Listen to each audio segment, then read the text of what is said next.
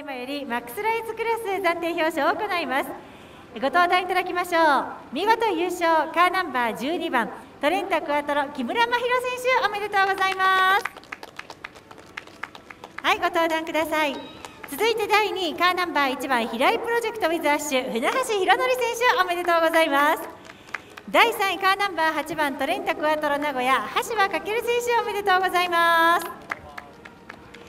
それでは3選手には青賞のトロフィーが贈られます木村真宏選手、去年のシリーズ戦第4戦、第5戦と2戦連続のポール・トゥーウィン、フェスは出ませんでしたが、市長杯で3位ということで、連続表彰台乗り続けております。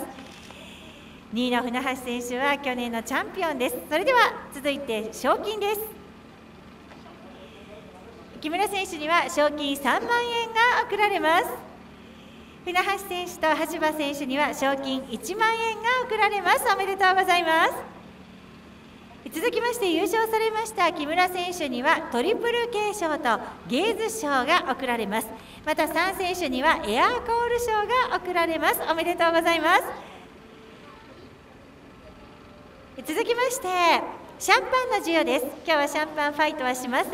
美味しいシャンパンですのでお家で召し上がってください。ボッテガのゴールド。シャンパンお送りいたします。お家で飲んでください。開けるのもったいない気持ちはよくわかります。はいそれでは記念撮影です。お願いします。今年またこのねシャンパンずっとサポートしてもらえるそうなのでぜひお家にコレクションしておいてください。ただし窓際とか置いとくと巣になっちゃいますので気をつけてくださいね。はい。ではこのクラスは1位になりました木村選手のみお話を伺います。おめでとうございますがとうございます。えー、今日後ろからじわじわっと近づいてこられたりして、まあ、決して楽ではなかったんじゃないかと思いますがいかがでしたか？いやもう本当に苦しくてもうずっとしんどい気持ちで走ったんですけどなんか後ろがバトってくれてちょっと差が空いたおかげでちょっと軽い気持ちで走りました。あれずっと後ろがガンガン攻め上げてきてたら精神的にやばかった感じですか？そうですねタイムも遅いんでずっと辛かったんですはい。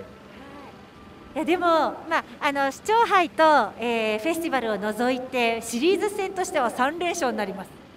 3連勝良かったですできて、はい、今日だけなんですよね、えっと、今年は鈴鹿でシニアに出ようと思ってるので今日はあの栄光シャーシのお試しということで出ました、はい、じゃあこれからは鈴鹿で頑張ってください。おめでとうございましたそれでは改めてご紹介しましょう。マックスライズクラス見事優勝木村真宏選手。第2位船橋宏典選手。第3位橋場翔選手にもう一度大きな拍手をお送りください。おめでとうございました。